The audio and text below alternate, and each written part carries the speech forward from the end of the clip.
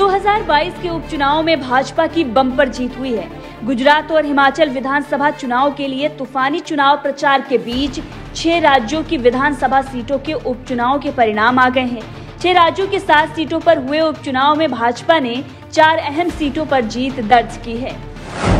जिसमें से एक सीट पर भाजपा ने अपना उम्मीदवार वापस ले लिया था नेता के सम्मान में।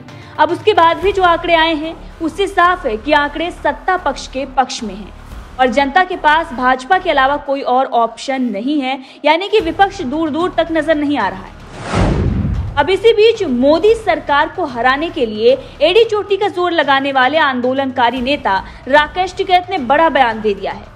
उनका कहना है कि ऐसे तो भाजपा 2024 में भी जीत जाएगी, क्योंकि देश का विपक्ष कमज़ोर है तो वहीं उन्होंने सरकार पर बेईमानी का भी आरोप लगा दिया है।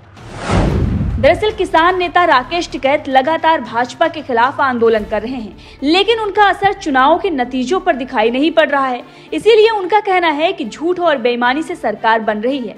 आम जनमानस, किसानों, मजदूरों से बीजेपी सरकार छल कर रही है। राजनीतिक दलों की तरह किसान संगठनों को भी तोड़ने की साजिश सरकार कर रही है। उन्होंने ये भी कह दिया कि बीजेपी वाले कोई भी चुनाव जीत सकते हैं। ये लोग 2024 में भी चुनाव जीत जाएँगे, क्योंकि देश में कोई भी विपक्षी दल नहीं है। सुनिए क्या कुछ उन्होंने इस मामले पर बात करते हुए कहा।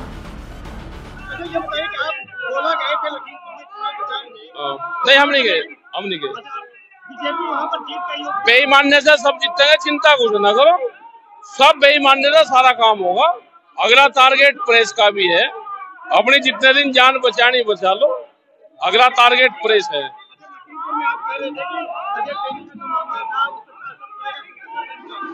बेईमानी जब होगी तो कोई असर नहीं पड़े। इन्हीं का इलेक्शन कमीशन है, इन्हीं की कोर्ट कचहरी है, इन्हीं के ही अधिकारी है सब। सब इन्हीं के ही है। सब बेईमानी से, सब बेईमानी से होगा। जब पूरी प्रदेश सरकार बेईमानी से बनी है तो ये भी बढ़ेगा यही जीतेंगे, बेईमानी से जीतेंगे। जीतेंगे, बेईमानी से जनता वोट दे रही, लेकिन बेईमान नहीं करेंगे यही जीतेंगे।